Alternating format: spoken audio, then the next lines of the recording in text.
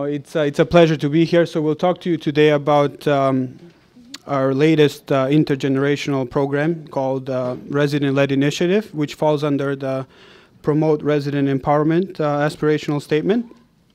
So what's the agenda for today? Um, we'll talk to you about why are we here, how do we get started. We'll touch on resident empowerment. We'll uh, review the different intergenerational uh, programs that have taken place at the village of Erin Meadows throughout the years. Uh, David will talk about uh, the details of uh, some of the programs and his personal involvement and experiences with, um, with um, being the facilitator. Uh, we actually have a, a, proposal for a new program that all of you can implement in your own homes if you wish to do so. And finally, we'll have the, the top three recommendations. So why are we here? So the resident-led initiative, um, intergenerational program, uh, it's basically a collaboration between our village and um, the neighboring high school. And um, it engages residents in the development and the delivery of a health and wellness course um, for the students taking that course. And um, it basically uh, provides an opportunity for the students to come to our village and become part of our community. I won't go into the details now. Everyone has a handout of the, um, the highlights, the most important points, I guess, about this program in your folders. Uh, it talks about, you know, why is this important, who is all involved, how to get started if you wish to do so, resources. Um, and David will discuss the details later on. But I'll tell you how we got started. And um, for those that are part of Schlegel Villages, uh, you know that we started back in 2009 when we made the decision to, to join the, the journey of changing the culture of aging. And uh, in the fall of uh, 2010, which is you know the following year, we developed uh, the eight aspirational statements. And you see them on the right. Um, the photo is courtesy of uh, Lisa from ThinkLink Graphics. I get that right, Josie? Okay. And uh, promote resident empowerment is uh, one of those aspirations. So, what is resident empowerment? So, we believe that empowerment is a fundamental human right. And uh, we promote uh, resident empowerment not only by education, but by supporting our residents to find and fulfill their life purpose. And um, we see the residents as the leaders. And you can see empowered Mr. Kent to the right there doing his thing. Thanks. Yeah, doing his thing, which is storytelling. And um, you probably know this if you read the handout that was emailed to all of us, but according to Bill Thomas, uh, one of the pioneer pioneers in, uh, in the culture change movement, uh, storytelling ability is the most important skill or competency needed to drive change in um, culture, uh, to drive culture change in senior living communities. So I'll hand it over to, to Sami to review the different intergenerational programs that have taken place at Erin Meadows, uh, and then over to David. The first intergenerational project that we had is it was in 2009. We had Wisdom Project with Stephen Lewis Secondary School with the goal to encourage compassion, respect, and understanding between generations and across ethnic and religious lines so students and the elderly alike can recognize their common humanity. 12 students, we paired them up with six residents for six weeks to meet two hours for each session.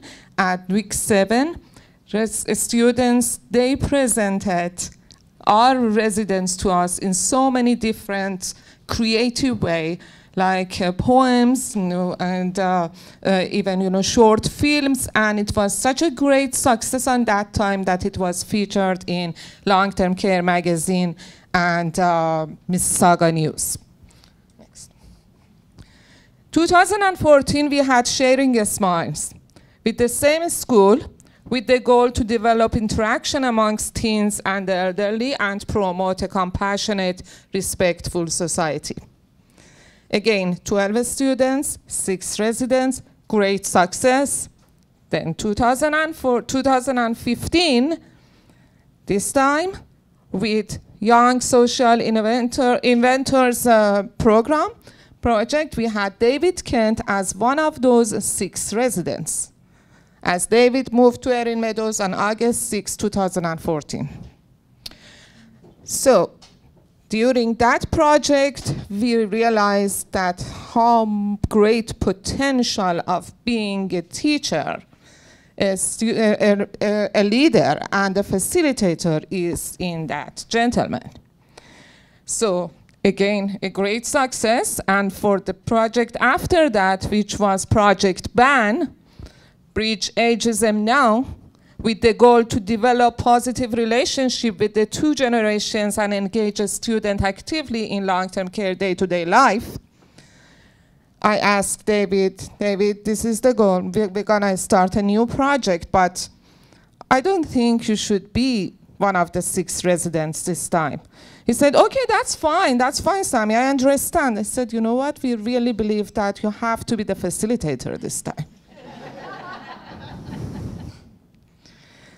So David selected the residents. David interviewed the students, paired them up with the residents.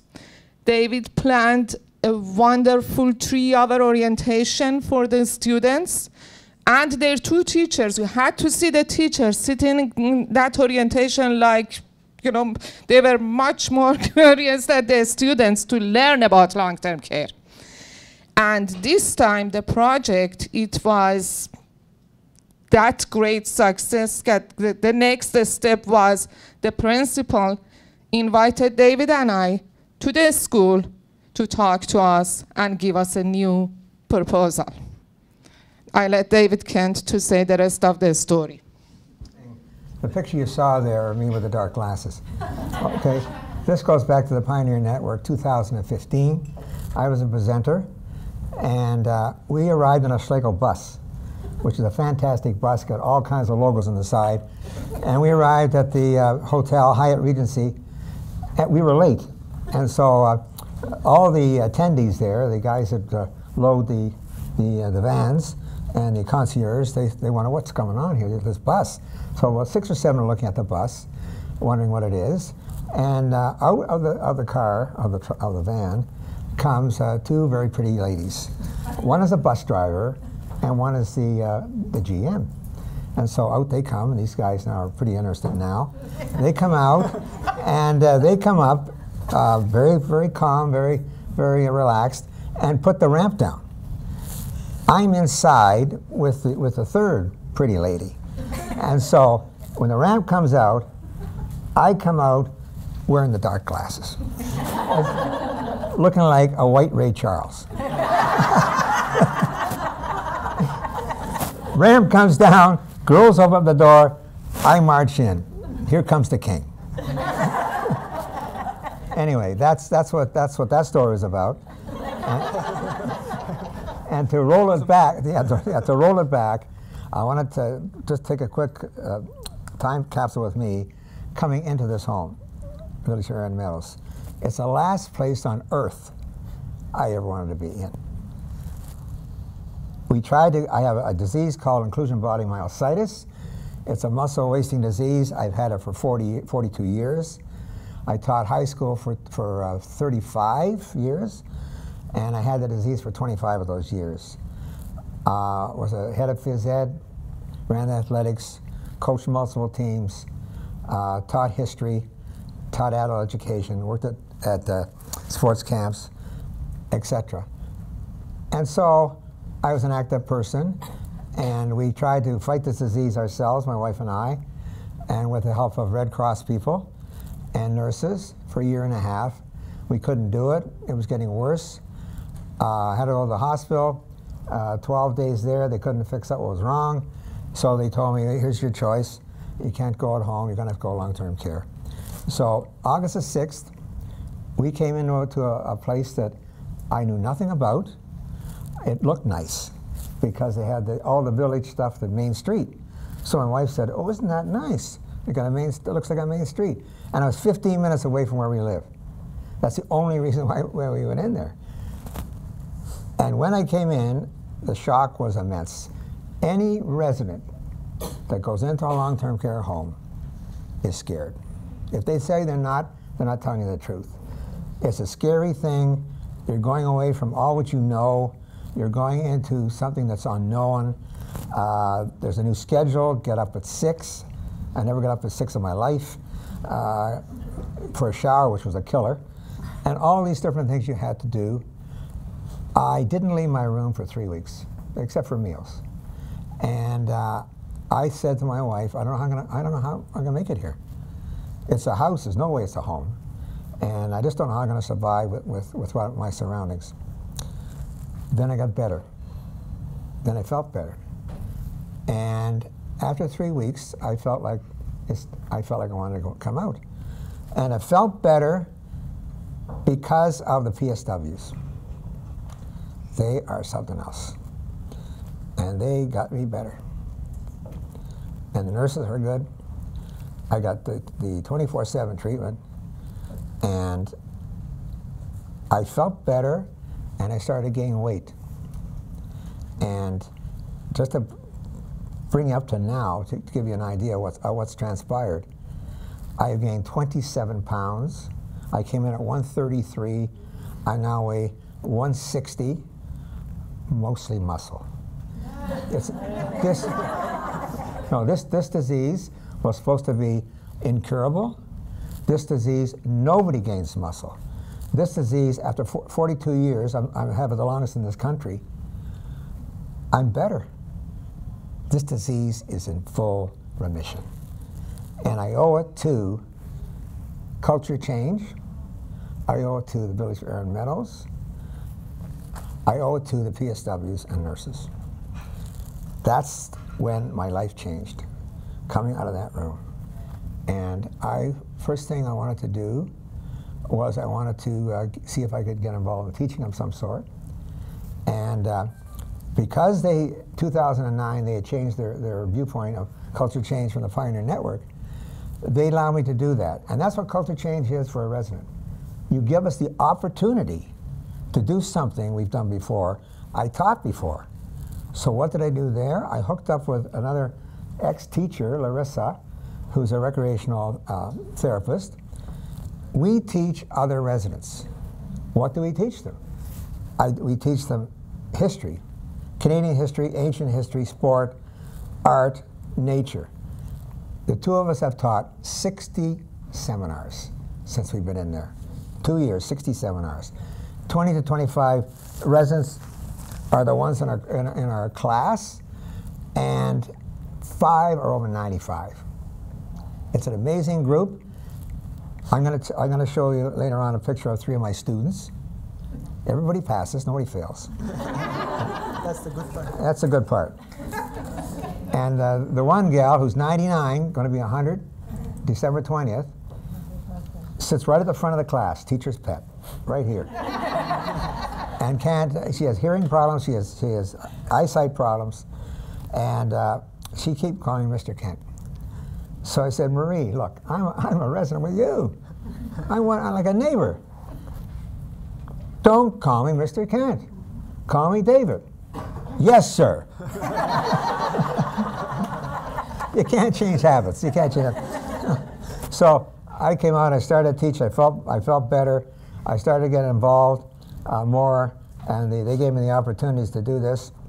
And uh, the next thing I did was resident council. I went to some meetings, liked it, uh, became president of the resident council, and since then I'm now on the board of directors of the OARC, the Ontario group. So I'm seeing the full picture now, which is great. And then uh, I became uh, co-chair with, with Sami, and uh, we could boss this guy around because we're co-chairs. co-chair of the uh, VAT, the Village Advisory Team. And so as a co-chair, we have a cross-section of all of the village. And I made sure two of my PSWs got on there, which they are. And we have the nurses, we have the uh, dietitian, we have family, family council on, which is what it should be. Resident council should be with family council. So that, that's, that's the team. Then came facilitating. And the facilitating started, there's the one of, okay, these are two of the uh, young ladies I had when I was uh, a resident. They came back last uh, spring to, uh, actually the one on, on you see on the left, Rafia. Rafia uh, when I had was with her two years ago, shy, introverted, uh, no self-confidence, wanted to join something to see if she would improve herself.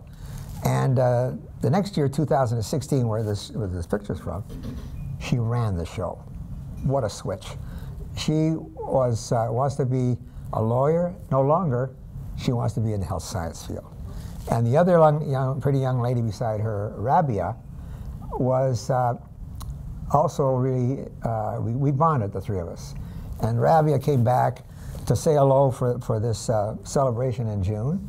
And Rabia, she's at university, but she makes sure now she volunteers. That's what the power of this was, the, the band project. You get your one-on-one, it was, it was two kids, or students, I should say, for one resident. And we made sure the residents, when, when I picked the residents, I had three from cognitive, I had three from less cognitive areas, one from lockdown. Secure. It, it was, uh, uh, sorry, secure. It, it was, it, it, it's, it was the, it was the, the uh, uh, time of their lives, time of their lives with, with, with these people. And uh, it was magical. So we had that. And then the, the next one is the SHSM program. And this, this is extracurricular with this, uh, with the first one, BAN. But the, the SHSM is a program that the Ministry of Education has in the high schools now, especially high skilled major. And this one was health and well-being. They got one in art, they got one in music, and the school has to be a special school to get this. You apply. Not all schools get it. And so we really were lucky because the school that we were involved with with BAN was the same school for, for SHSM. And uh, so, as Sami said, they wanted to, to connect with us again. 30 students, and we, uh, I set up an orientation for them, and uh, in they came with the two teachers. 26 girls, two, four guys. That's about the ratio. As you know, in the homes, like four to one, five to one. We have no, we have no chance. and the, uh, so in, com- in came the 30 people, uh, these students, and we wanted to make sure that uh, Sami welcomed them. We wanted to make sure they heard a story. And they, they heard my story, about 20 minutes. The volunteers had, had their part. And then we had uh, a dementia session. And then we had a tour for them. And the tour has to show the whole place. We want to see the lock, the, the sorry, the secure area. And they saw this and were blown away with what they saw. They were, uh, they were, uh, and when we asked them after it was over, what, was, what they felt from this, they said the biggest surprise for them coming in, it wasn't a hospital. It wasn't, everyone wasn't in beds. People were alive. People were doing things. People were smiling. That's the stigma. And that's what we have to change. We got to change the stigma to get, to get the culture, culture change idea through to them. So, okay, next, after the SHSM, uh, there's, there's excitement. Just, just roll it back a minute. Here, here's the kids. Congo line, two guys with four 85 year old ladies. Okay, what, what, we got next? That's the, They have the new program. okay. The new program, Meet the Elders. This one, which any high school can do, any long-term care can do, because what you want, you have the resource here of the wisdom of the elders. You, it's loaded with people with fantastic careers. So invite the schools in. We're going to invite the Stephen Lewis in uh, uh, next time. Invite them in, negotiate with them, have the president of resident council there for sure, rec person there for sure, GM, and have them.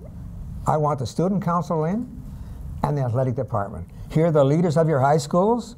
They'll go back, they'll network, they're respected, and have them come in for two hours, orientation session, and at that time, make sure you have storytellers. That's it. Okay, on, that's my, who are my students. On the left is Pauline, 99, a farm lady, Ukrainian, uh, one of seven kids.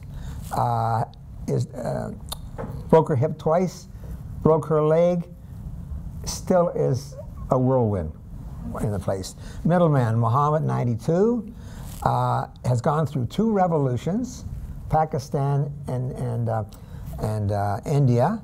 He was bombed in Calcutta. Uh, he was uh, involved in the war with Iraq and Iran and was bombed in Tehran. The story he has are unbelievable. And the last one, Marie is going to be 100 December the 22nd. And one of 14 kids, youngest of 14 kids, uh, at this is the Depression years. Things were really tough in the Depression years. So what she did was she went to grade 12. At the age of 12, her uh, second eldest brother, uh, wife had died. The five kids came to live with, with the mother and, and, uh, and her. The mother died after two years. At 14, she brought up five kids. At 14. And so when she was 28, she got married, came back to Toronto, to cut the long story short. And here's the thing for the December 22nd party. Her two sons are coming, 66 and 68.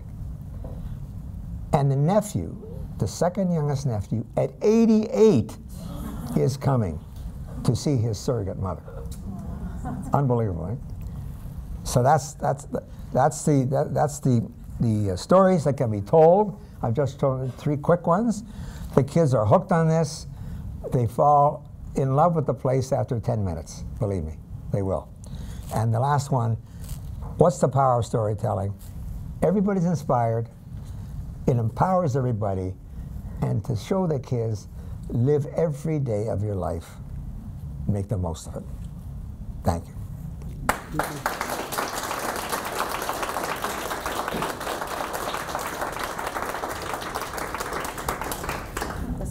That was incredible. Got the recommendation? Thank you very much, David, Denis, and Sami for sharing.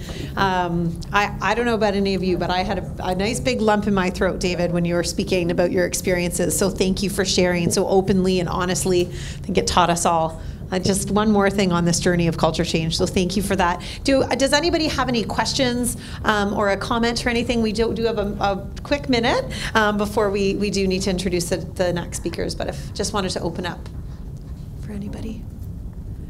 No? Anybody from? Oh, excellent.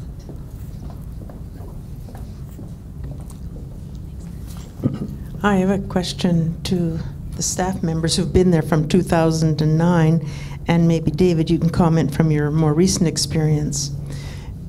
In the work that Schlegel Villages has done, you've identified language, the previous institutional language, and now language that shifts a whole series of words to a new place.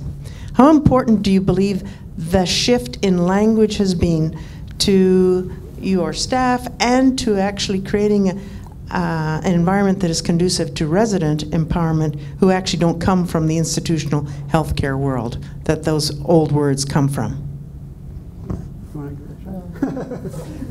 Sure. So it's it's one of the many factors I think that you know are very important in the culture change movement. I mean, uh, I don't want to say like maybe the one the top ten, because it's not only the team members but even family members, visitors, other stakeholders are witnessing that, and you know, basically they they they see that we use it day in and day out, so they change their perspectives. So it's very important for the team members, definitely. So.